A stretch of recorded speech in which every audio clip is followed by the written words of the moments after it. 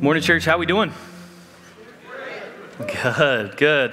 Hey, my name is uh, Phil. If I hadn't had the chance to meet you yet, I'm one of the pastors here at uh, Salem Chapel, and if, I hope you had a great Thanksgiving. Let me be the first one to thank, or to welcome you into a season of uh, twinkly lights, peppermint mocha, and Hanes Mall traffic. Aren't we so excited? to be a part of that. As you walked in, you probably noticed the Christmas trees are up, all the lights, and um, up here at Salem Chapel, um, some of us have been celebrating a while. Some of us have not stopped since last year. You love Christmas that much. Um, I, on the other hand, love Thanksgiving as a holiday, so I hold strong. If you're one of those people with me, you are my type of people, okay? But today we are um, hopping into our series in the book of 1 Samuel. So if you have your Bible, go ahead and turn to that. Um, and this series is called Give Us a King. And uh, we're going to be looking at a very important transition point in the life of the nation of Israel, but also even throughout the entirety of Scripture, where Israel really transitions from a theocracy into a monarchy. This is also the passage where we get our title, Give Us a King. But for just a little bit of backstory and context to this, this is where Israel is coming out of the period of the judges and really into the period of the kings. See, for the last 400 years, Israel had been ruled by judges. And when I say ruled, they were ruled in, a, in an advisory type of sense because judges, they would not reign and rule in a way that a king would. Judges would have been appointed for a time, um, a specific place, and even a specific season, that there would be this particular crisis that, that would rise up where God would need leadership or intervention. So he would raise up judges to bring leadership and guidance. And he raised up some amazing judges that were not perfect, but that you probably have heard about and have read. Guys like Gideon and Samson and even Deborah. And this last judge that God ends up uh, raising up is this man named Samuel. So last week we looked at Samuel in, in chapter 7, where after 20 years, Israel was worshiping foreign gods. They returned to the Lord through the guidance of Samuel. The Philistine army tries to attack them while they're at this revival. The Lord thunders, like I don't even know what that is, but that sounds amazing. He thunders right? It confuses the Philistine army and they scatter. And the Lord protects his people again. He comes through for them. They end up setting up this monument. It's called an Ebenezer stone to remember what the Lord had done, which literally means, till now the Lord has helped us. See, it's, it's going well for the Israelites. They had turned back to the Lord, but as we take, into, take a look at 1 Samuel 8, we are going to see that they are now a long way away from Ebenezer that some had time had passed, and Israel is now a long way away from remembering what God had done and even waiting or even wanting something completely different. See, they wanted a king who could guarantee them security, could guarantee them prosperity, and someone they can depend on. And what we'll see and what is so tragic about their request is that everything they longed for in a king, they already had in King Jesus. So we're going to dive into 1 Samuel 8 here. If you have your Bibles, we're going to read the whole entire passage. We don't have three chapters to look at. So when we get a chance to read the whole passage, we're going to because we want God's word to speak before anyone else does. So let's go ahead and read this passage. When Samuel became, whole, became old, he made his sons judges over Israel. The name of his firstborn son was Joel, and the name of his second was Abijah. They were judges in Beersheba, yet his sons did not walk in his ways, but turned, turned aside after gain. They took bribes and they perverted justice. Then, then all the elders of Israel gathered together and came to Samuel at Ramah and said to him, Behold, you're old, and your sons do not walk in your ways. Now appoint for us a king to judge us like all the nations. But the thing displeased, displeased Samuel when they said, Give us a king to judge us. Samuel prayed to the Lord, and the Lord said to Samuel, Obey the voice of the people in all that they say to you, for they have not rejected you, but they have rejected me from being king over them. According to all the deeds that they have done from the day I brought them up out of Egypt, even to this day, forsaking me and serving other gods. So they are also doing to you. Now then, obey their voice. Only you shall solemnly warn them and show them the ways of the king who shall reign over them. So Samuel told all the words of the Lord to the people who were asking for a king from him. He said, These will be the ways of the king who will reign over you. He will take your sons and appoint them to be, uh, appoint them to his chariots and to be with be his horsemen and to run before his chariots. And he will appoint for himself commanders of thousands and commanders of fifties, and some to plow his ground and to reap his harvest, and to make his implements of war and the equipment of his chariots. He will take your daughters to be perfumers and cooks and bakers. He will take the best of your fields and vineyards and olive olive orchards and give them to your servants. He will take the tenth of your grain and of your vineyards and give it to his officers and his servants. He will take your female or your male servants and your female servants and the best of your young men and your donkeys and put them to his work. He will take the tenth of your flocks and you shall be his slaves. And in that day you will cry out because of your king, whom you have chosen for yourselves, but the Lord will not answer you in that day. But the people refused to obey the voice of Samuel, and they said, No, but there shall be a king over us, that we also may be like all the nations, that our king may judge us and go out before us and fight our battles. And when Samuel had heard, heard all the things, all the words of the people, he repeated them in the ears of the Lord. And the Lord said to Samuel, Obey their voice and make them a king. Samuel then said to the, to the men of Israel, Go, every man to his city. Let's pray. God, I thank you for today. I thank you for your word that even though, um, God, it was written many years ago about a certain people group at a certain time in a certain place, your word still rings true in our hearts today. God, that when we look at Israel and how their desire for a king, God, was a rejection of you. God, I just pray that as we dive into your word, as we look into what um, you have to say to us at, at this moment, this point of time, Father, that you would soften our hearts to see what you want us to see and hear what you want us to hear. Lord, we love you so much. Your son's name, amen. There is um, something that you need to know about me. I am terrible at song lyrics, right? Anybody else in the room that is just really, really bad at song lyrics? Like, I am awful. There are some people in this world that can memorize any lyric, any artist, and I'm just not that guy. Like, it's just not me. That's not who I am. I saw this video or meme the other day. It was of this mom and her kid. They were listening to the song Christ Be Magnified. You know the one I'm talking I'm not going to sing it. I promise you. You guys know the song I'm talking about. Christ Be Magnified.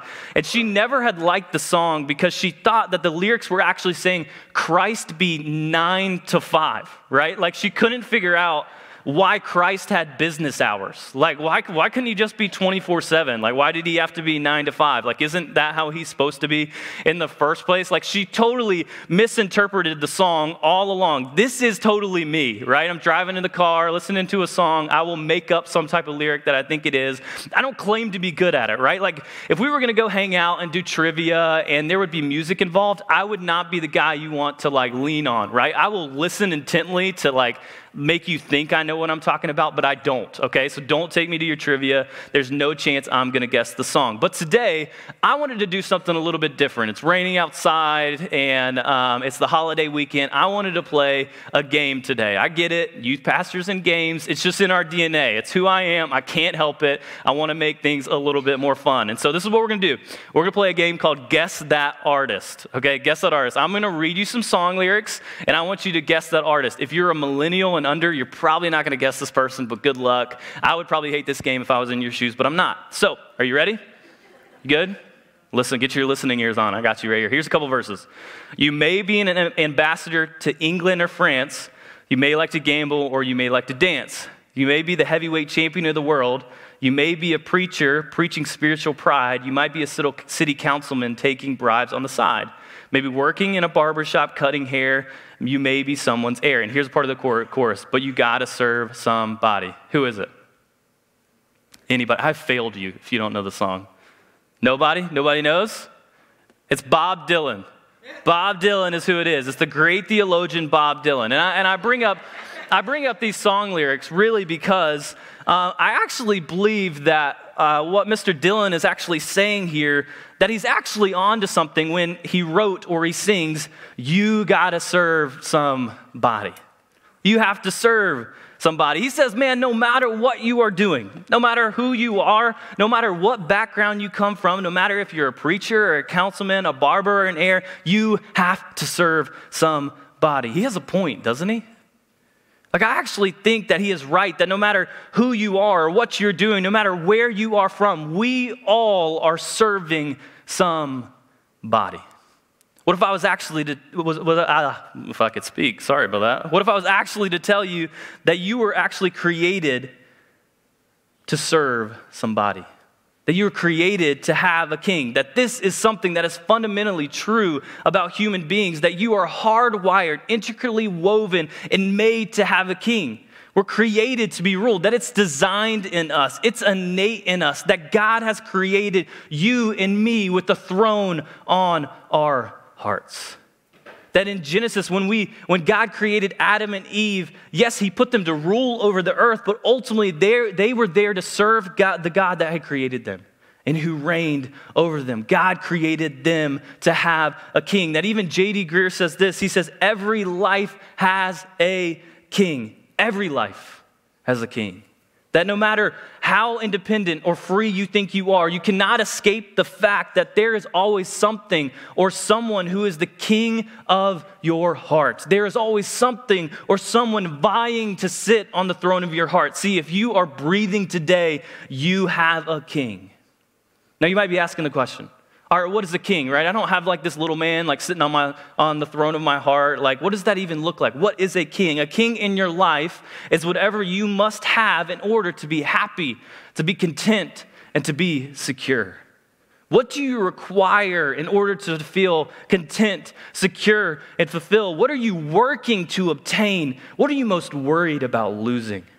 What are you holding on to that you just can't let go of? You say, man, I have to have this in my life, or at least your actions say that you do. Man, I have to have this much in the bank account. I have to have that promotion. I just have to have it. I have to have that independence or that relationship or that escape. This is your king. This is what is sitting on the throne of your heart. You have to serve somebody. You were created for a king. It's innate in us. So, church, before we even get started, who is your king? Who is your king? Because what we will see here in 1 Samuel 8 is that our hearts long for a king, but we often look in all the wrong places for a king. Let's take a look. So Samuel, he, he's getting old, right? He's, as he's getting old, he starts to slow down. And so he does something that is a little bit unusual. He starts to uh, hand over some of his leadership to his two sons, Joel and Abijah. And that might not seem like a big deal to you, but there's a couple reasons why this was a mistake by Samuel. One, these guys are the worst, right? They're awful leaders. They're dirtbags. It says that they did not walk in the way of Samuel, but they took bribes and they perverted justice. These guys, they were not good dudes. And the second was this was not how power was supposed to be transitioned between judges and the leaders of Israel. Like we had talked about above, Israel's judges, like Samuel, were appointed by God. He anointed and chose for a specific time in a specific place in a specific situation. And it was in no way passed down by birth, right? Samson was a judge, his son was not a judge, right? Gideon's son wasn't a judge. So the people here, if you think about it, they're just concerned about, uh, about this. They believe that their system and their leaders and their government is just breaking down. So the elders, they come to Samuel and they say, All right, Samuel, you're getting old, right? Your sons are terrible. I would have loved to been like a fly on the wall in that, right? Dude, you're old, right? And I do not like your sons, right? How awkward of a conversation would that have been? Like, you literally just called this man old and you just dis- disrespected his family. But anyway, what is going on here is they are concerned. They don't know what is going to happen after Samuel. They don't want to be left with his sons, and they think that, uh, it, and, and to think, it would be a little naive of us to think that the elders of Israel hadn't been thinking about this for a little while, that they wanted a king. And it didn't just spring up into their mind. They had been seeing all the threats around them. They're realizing that God is not operating um, in a way that they expected, operating on their timetable. He kind of seems unpredictable, right? He sails in sometimes at the last minute and delivers them. And they want someone um, just a little bit more like everyone else. So they see this opening of Samuel's deficient sons, and it gives them an opportunity to um, demand a king. They're not really asking. They're demanding, this is what we want. We want a king like all the other nations. Just give us a king. Now, if we were to pause and just look at this request for a minute, if I'm honest, it really doesn't seem that bad, right? They're just doing some future planning. Like they don't want to be left with Samuel's sons. And, and if we're honest and, and read through Judges, they hadn't had the best leaders. They were all flawed human beings. We just want someone we can look toward. I know we have this invisible God. We don't know where He is half the time, and we need somebody that we can depend on, someone strong, someone we can hold accountable. And what if I was to tell you that actually I believe it was God's plan all along to give them a king? If you flip in your Bible to Deuteronomy 17, it'll show you this. It, said, it says that God saw this coming.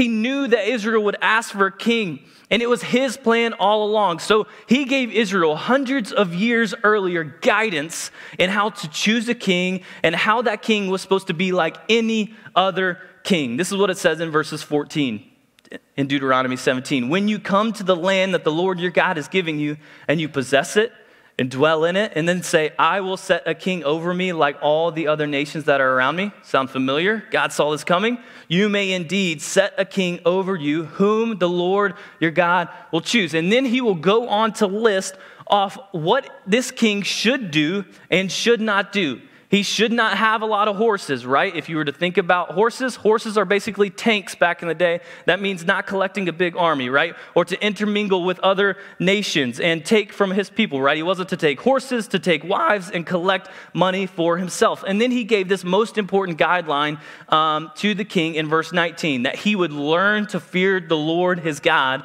by keeping all the words of the law and the statutes by doing them. Meaning, that this king would constantly be coming back to the word of God, constantly be leaning on, uh, leading on God for direction and guidance, constantly leading with this type of posture. God, what would you have us do?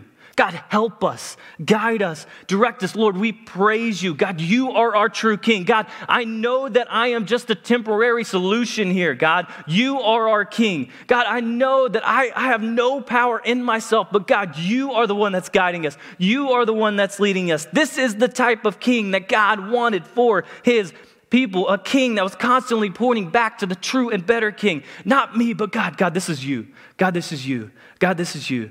God, this is you. So, what was wrong with their request? It's not the fact that they wanted a king. No, God was going to give them that king.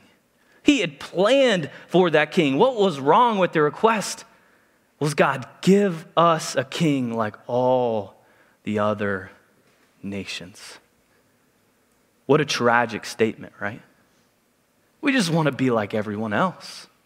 Just give us a king we're done with this. I'm tired of this song and dance. Just give us a king. And what is so devastating is that they were never supposed to be like every other nation. God had set them apart. God had chosen them. He had blessed them. He had rescued them so that, so that through them, reconciliation of the world would come through them. God said, You're not supposed to be like them. You're my chosen people. This is the king you were supposed to have. And this is a side note, church. In the same way, we are not supposed to be like everyone else. We're not supposed to handle our money like everyone else, handle our jobs like everyone else, handle our marriages like everyone else, our singleness like everyone else. We are not to, meant to look to, at culture or influencers and politicians as the measure of how we live our lives. Look to them as our quote unquote king. Our lives should be different and look different because we know the one and true king. Amen? He sits on the throne of our hearts. And those other things, they don't have a hold on us. Israel was never meant to be like every other nation. Just like you and I are not meant to be like everyone else. So the heart behind the request here is not is the, so the heart behind the request is not so the heart so is not Samuel you are getting old. So let's get the show on the road. Let's go to God. Go, Samuel, go to God for us. Let's get the king that he desires for us and he wants for us, like in Deuteronomy 17. No, the heart behind the request here is what we'll see in the few, next few verses is rejection of God and rebellion against him. And it shows the complete lack in trust in him. And what they are actually doing is taking God off the throne of their hearts and they're replacing him with someone else. Verse 6 says this, but the thing displeased Samuel when they said, God, give us a king to judge us. And Samuel prayed to the Lord. Obviously, Samuel here, he's upset, right? His leadership's been in question. His family is in question. He comes to the Lord, which, by the way, this is a side point, is a great thing to do with your disappointment.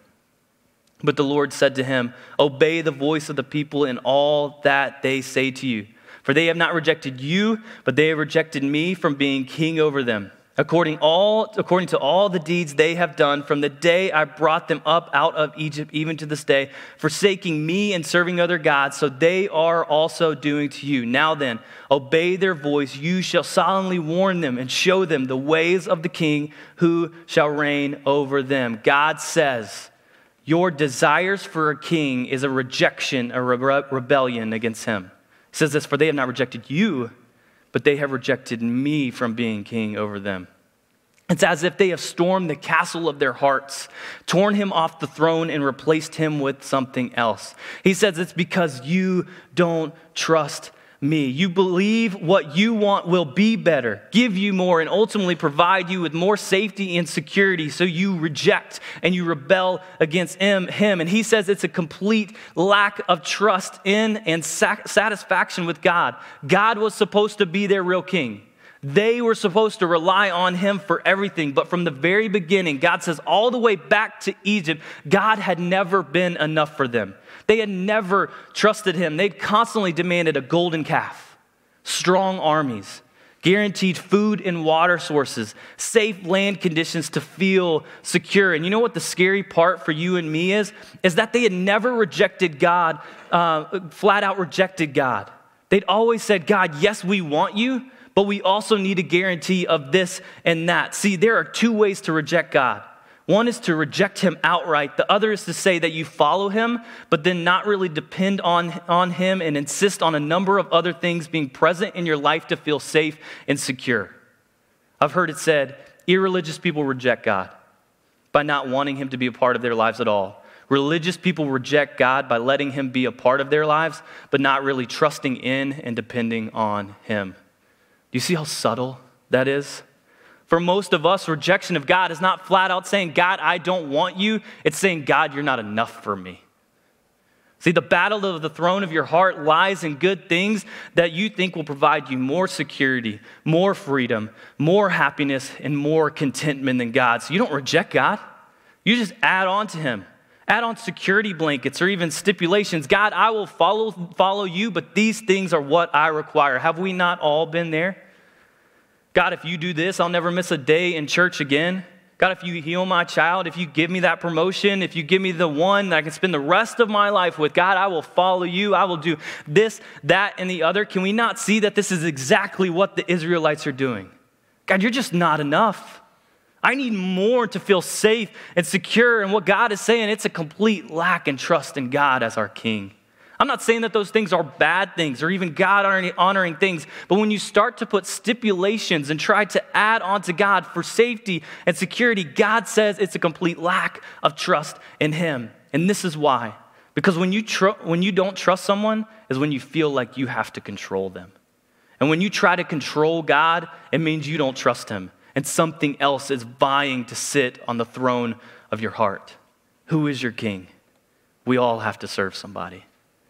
God says in verse 9, give them what they want. Now then, obey their voice. Only you shall solemnly warn them and show them the ways of the king who shall reign over them. Now, some of you might be asking their question uh, if their request was so bad, God, why did you end up giving it to them? Like, why didn't he just put his foot down and say no and just say, this is how it is going to be, right? Why didn't he do that? Here's why God will sometimes answer your prayers, give you what you want, so that you will see what you asked for in the first place was wrong. Have you ever had that happen to you? Have you ever wanted something so badly, you desired it, you worked for it, you even prayed about it, and then you got it and it wasn't what you thought it was or thought it would be in the first place? It actually turned out to bring havoc and chaos in your life. It kind of reminds me of Ralphie from the Christmas story. You guys all seen that movie, Ralphie from the Christmas story? If you have not seen that movie, it's 30 years old. I'm going to spoil it. That's on you, okay? Not on me. Ralphie wants a Red Ryder BB gun. So bad, he goes to great lengths. At every corner, he is warned that he's going to do what? He's going to shoot his eye out, right? My favorite part is Santa Claus. He's like, shoot your eye out. Kicks him straight down the stairs. Awesome. Super funny, right? And so he, he uh, finally christmas shows up his dad um, after the bunny costume that's the bunny costume's the best. I mean that's the funniest part right there. Anyway he's in the bunny costume his dad finally says hey you have another present. He gets the present. It's this red ryder bb gun. He's pumped. He's ecstatic. He's like mom can i go shoot it outside? He's like absolutely. Runs outside. He takes aim at the target. He ends up shooting the red ryder bb gun at the target. It hits the target it ricochets and it hits him square in the glasses and he lands on his back right some of us, we have felt exactly like Ralphie, right? We got what we wanted. We might have even been warned. We asked for, and it was, it was nothing like you thought it was, and it put you on your back. God gave you the promotion, and it ruined your family. God, you got that house, and you were in debt over your eyeballs, and the list goes on. The one thing that you thought you wanted most in life turned out to be a curse. Why? Because sometimes God will answer your prayers, give you what you want, so that you will see what you asked for was actually your king. See, one of the worst judgment statements here in the Bible is Romans 1:26. And God turned them over to, their, to the desires of their heart. In other words, God's judgment on them was to answer all their prayers. On the other hand, some of God's greatest mercies to us are in the form of, un, or un, of unanswered prayers. I'll never forget being in a church service one day. I was pleading to God about my middle school girlfriend, right? I, for some reason, our relationship was on the rocks. I really wanted it to work out. I was like, God, please save this relationship. Like, I, I want this. This is what I want, God. And I look back and I just say, thank you, Jesus, that that didn't happen. Great girl. I'm sure she's living a great life. Just didn't work out, right? I'm so thankful for that. Like, thank you. You did not answer that prayers. And see, the reality is, is some of us right now are praying for something. We're asking for something. We're desiring something. And one of the greatest blessings and mercy in your life is that unanswered prayer. See, the worst thing for you is for God to answer a prayer request and give you something that will allow you to replace Him. Is it bad to ask God for things? Absolutely not.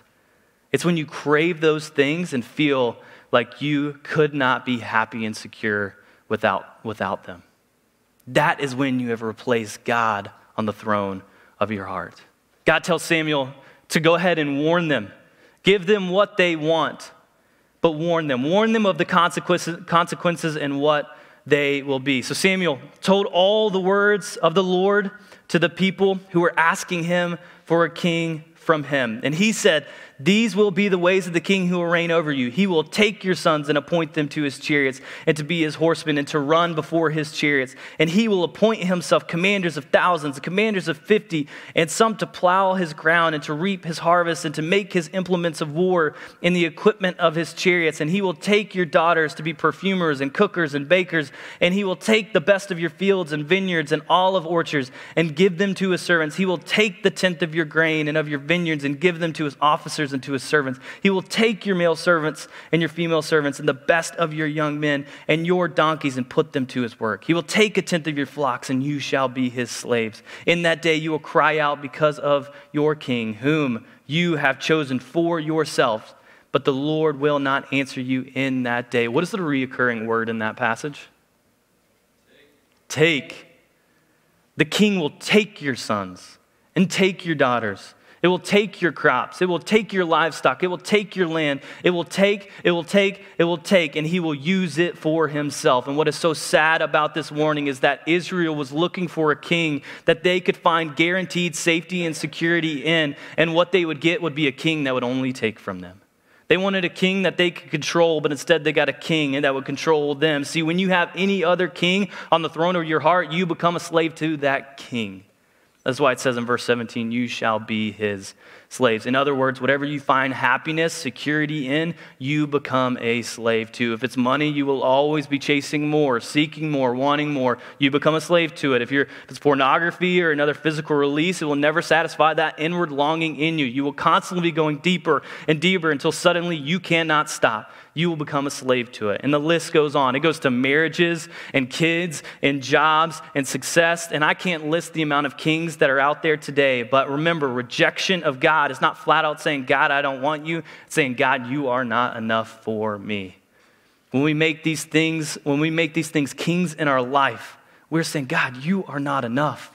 And the sad reality is these things promise what they can never deliver and will always leave you with less. It will take your best years, it will take your joy, it will take your peace, it will take all that you were looking for in the first place. Just take, just take, just take. See, all of us have a king. And a king in your life is whatever you must have to be happy, secure, uh, happy and secure, and whatever that is, you become a slave of. So, chapter 8, it ends with God warning them about what will happen if they get a king. They demand one anyway. In the next few chapters, God gives them exactly what they are asking for. But the question as we conclude is this Who is your king? Who is your king? Because you have to serve somebody. Church, there is good news today because there is a king and his name is King Jesus, the one true king that says in John 10 10 that the thief comes to steal, kill, and destroy. That is anything that sits on the throne of your heart does. It's coming to steal, it's coming to kill, it's coming to destroy, it's going to take, it's going to take, it's going to take. But King Jesus, no. He says that I have come so that you may have life and have it abundantly. He is the only king that gives. Every other king takes. And what he gave was his perfect life on a cross that took your place and my place to buy back what was rightfully his in the first place your heart and the throne on it. Church, as C.S. Lewis says, man, we are far too easily pleased with something else on the throne of our hearts. So I offer you the chance today to make a choice that Israel did not, the choice of faith. And you have more to go on than they ever did. We can look back in time again and again and again that God has always been faithful to his people. And most importantly, you have the cross where you see the ultimate display of God's love and faithfulness to you. How do I know that I can trust God? Because his track record, man, it's faithful and it's true. There is no king you can serve greater than God. But here's the catch. Here's the thing. To follow God, must step out on faith in Him with no stipulations and no conditions. Just trust in the one that created you and died for you. Because just as we saw, add ons and stipulations is a rejection and lack of trust in Him. So today, some of us, we might be sitting here, been following Jesus for a long time. And along the road, we have allowed other things in our life to sit on the throne of our hearts. We made our relationship with the Lord more about contingencies and stipulations, made it more about a contract. God, if you do this, then I will trust you. God is saying, there's your king. It's in whatever you want, whatever you think is going to bring you security and safety and satisfaction. And God says, they will only take from you. It's only going to take. I'm the only one that can give. So some of us, man, we, we just need to say, Lord, God, I give you, I give you the throne of my heart. I give it to you.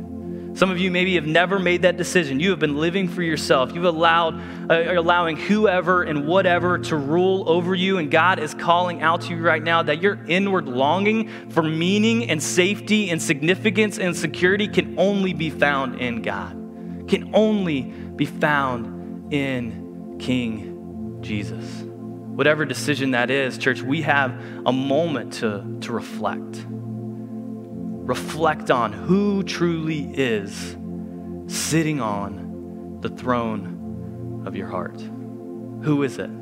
Because you got to serve somebody. So make sure it's King Jesus. Make sure it's King Jesus. Don't leave today without making sure it's King Jesus. Let's pray. God, I thank you for today. I thank you that you are the true and better King. God, that you have come and you have given your life. You're the only King that gives. God, you say that you give life and life abundantly. God, I pray that as we reflect during the song, God, as we um, experience your presence and your power in our lives, God, that we can continue to turn to you, continue to see, God, I'll, you know what? That's an area in my life that I've been holding on to really, really tight. And you know what? That's actually been my king. I'm basically calling out to God saying, God, give me that. Give me a king like everyone else. God, I want that. When in reality, the only king that gives is you. So, Lord, I pray for us today. Lord, we thank you. And we love you. In your son's name, amen.